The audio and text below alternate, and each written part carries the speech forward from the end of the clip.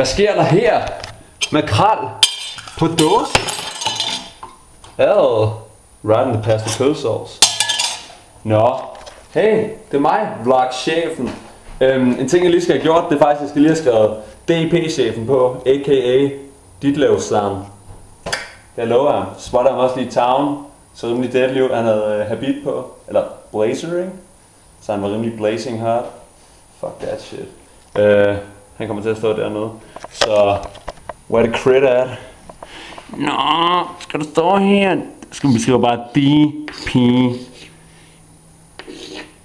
Chief.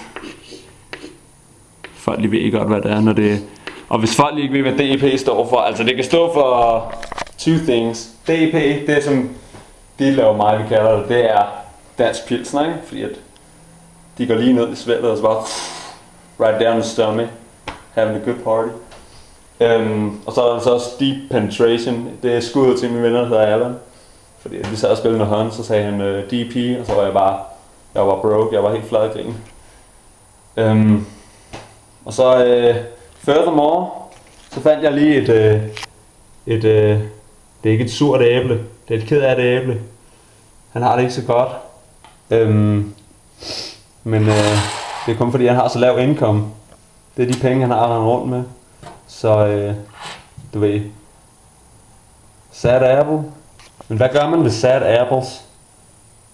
Kan I svare på det? Derude. I får 3 sekunder. 1, 2, 3. Fuck that shit. Man gør sådan her. Oh shit, shit, oh no, oh, oh, brain damage, serious brain damage.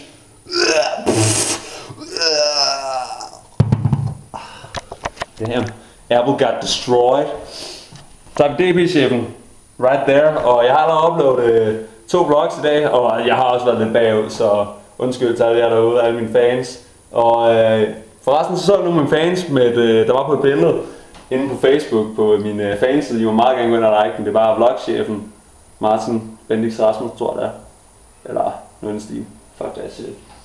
Men øh, så var der nogle homies, der lige sad med LM's og ekstra. Og altså, jeg har også det, jeg, jeg, jeg, jeg kan jo lige vise, I kender mig jo ikke, I kender mig. Herinde, jeg har lige fået sat svin op igen, yes sir, sa. og der står den, yeah boy.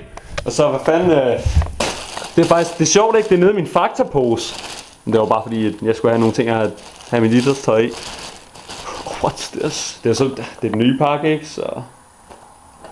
Men øh, still deadly, still pretty boss. Men uh, jeg vil lige sign off og sige, uh, jeg har haft en god dag i dag. Spillet noget fodbold, været sammen med øh, Mikkel Bjørnka og skud til ham.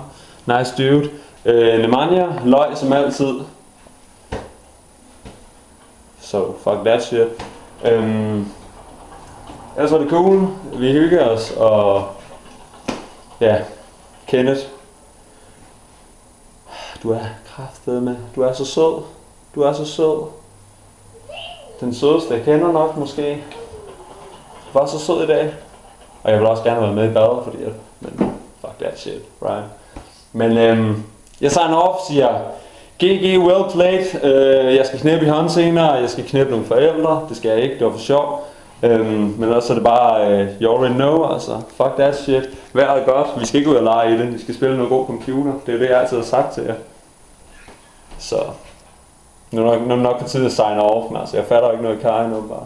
Så, fuck that. Og D4L, alle dem, der følger mig, I nice. Del det, sig, sig til jeres forældre sådan, hey, mangler I noget underholdning i hverdagen? Og så hvis de siger ja, så siger jeg, hey, vlogchefen. Pretty deadly. Fuck that shit. Nå. GG, I'm out.